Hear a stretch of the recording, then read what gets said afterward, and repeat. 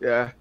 And oh, by the way, was, was it you? Was it it was Cora or Hamadi? One of you guys freaking got the corrupted missile and took me completely by surprise. Yeah, what's up, bro? What's up? Yeah, Everyone, yeah. everyone knocks the sensor inverter. It's amazing. Y'all should you try you it. you jerk! Like I didn't expect it coming, and I was like right on your tail. I'm like, ooh, I'm gonna get him, and then all of a sudden it was like, you're already dead. And then, you you got me twice with it. The first time I was like, nani, and then the second time I just forgot because like I've never fought against that component. Dude, exactly. No one expects it. I you gave me so much validation just now. Thank you. I have been saying sensor inverter is great, game, um, and I would have died both of those times if I didn't use it. Oh, dude, yeah, Hamadi, Hamadi.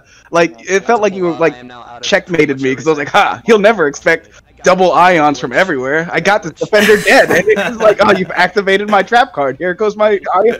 Here's your own ion missile back at you. like, goddamn. It's just Hurting a me. Like, What's the glitch? Are you okay? bomber. So Uh, my emergency power basically disappeared. Alright. I barely got out of that. I gotta heal. Which means I core our All side, forward go right now. core those shields. All right, Yo, I'm Lily following you, trying to Roku. Sneak up on me. Somebody's help. on us. Someone hit with me. I gotta bail. That's twice now I've countermeasured him with the ion uh, inverter or the sensor inverter. Your mask I had to pull out. I am now out of pretty much everything. A mile.